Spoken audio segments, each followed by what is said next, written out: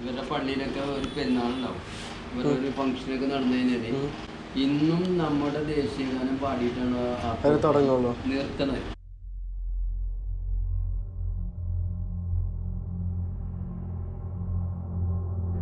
Mattancherry synagogue കാണാൻ വരുന്ന യാത്രികരിൽ മിക്കവരും സന്ദർശിക്കുന്ന മറ്റൊരു സ്ഥലം കൂടിയുണ്ട് ഇവിടെ. Sarah's hand embroidery. കേരളത്തിലെ ഏറ്റവും പ്രായം കൂടിയ ജൂത സ്ത്രീ സാറാന്റിയുടെ വീട്. ഇതാണ് സാറാ കോഹൻ എന്ന സാറാന്റി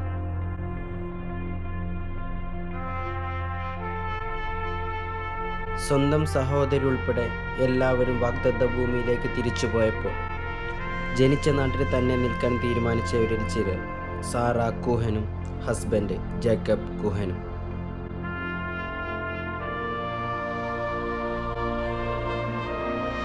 ഇത് താഹ ഇബ്രാഹിം. ഭർത്താവിന്റെ മരണശേഷം വർഷങ്ങളോളമായി ഇവരെ നോക്കുന്നതും പരിചരിക്കുന്നതും ഇദ്ദേഹമാണ്. ഈ കാലഘട്ടത്തിലെ ആളുകൾ അറിയുകയും മനസ്സിലാക്കുകയും ചെയ്യണം. മതത്തിനും രക്തബന്ധത്തിനും അതീതമായ ഇവിടുത്തെ ഈ സ്നേഹബന്ധം.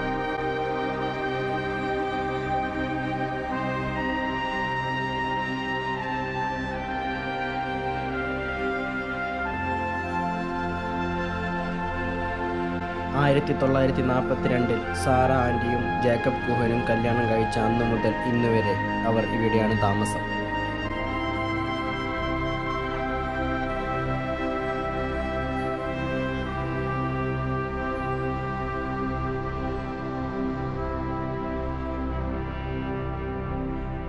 അവർ ഒരുമിച്ച് ഒരു കട തുടങ്ങി. വീടിന്റെ ഒരു ഭാഗം അതിനുവേണ്ടി മാറ്റിവെക്കുകയും ചെയ്തു. സാറാന്റിയുടെ കൈകൊണ്ടുണ്ടാക്കിയ മണവാട്ടിയുടെ കല്യാണപ്പുടവ അന്നും ഇന്നും ഒരുപോലെ പ്രശസ്തമാണ് ജൂതർക്കിടയിൽ അതുപോലെ തന്നെ ജൂതർ മതചടങ്ങുകളുടെ സമയത്ത് ധരിക്കുന്ന തൊപ്പിയായ കിപ്പ ബ്രെഡ് പൊതിയുന്ന ഹലാ കവറുകൾ അങ്ങനെ ഒരുപാട് വസ്തുക്കൾ.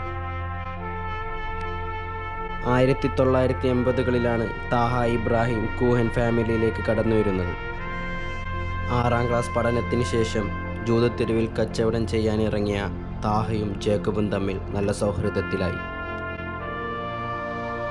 പിന്നീട് താഹയുടെ കച്ചവട സാധനങ്ങൾ തന്റെ കടയിൽ വെക്കാൻ ജേക്കബ് കുഹൻ സമ്മതിച്ചു. കാലം ചെല്ലുന്തോറും അവർക്കിടയിൽ സ്നേഹബന്ധം വലുതായി. താഹ അവർക്ക് വളർത്തുപുത്രനെ പോലെയായി. ജേക്കബ് കുഹൻ മരണക്കിടക്കയിൽ വെച്ച് താഹയോട് പറഞ്ഞത് ഒരേ ഒരു കാര്യമാണ്. സാറക്ക് മക്കളില്ല. അവളെ നീ നോക്കണം എന്ന്. അന്നു മുതൽ ഇന്നുവരെ എല്ലാം നോക്കി നടത്തുന്നത് താഹയാണ്. ജൂതത്തെരുവിന്റെ പഴയകാല ഓർമ്മകൾ ഉണർത്തുന്ന ഒരുപാട് ചിത്രങ്ങൾ റൂമിന്റെ പല ഭാഗങ്ങളിലായി കാണാം.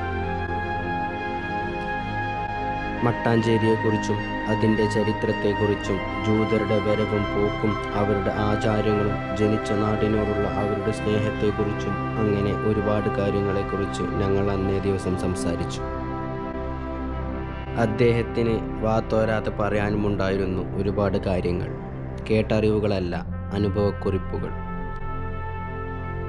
നമ്മുടെ ദേശസ്നേഹത്തേക്കാൾ എത്രയോ വലുതാണ് അവരുടെ ദേശസ്നേഹം എന്ന് തോന്നിപ്പോയി.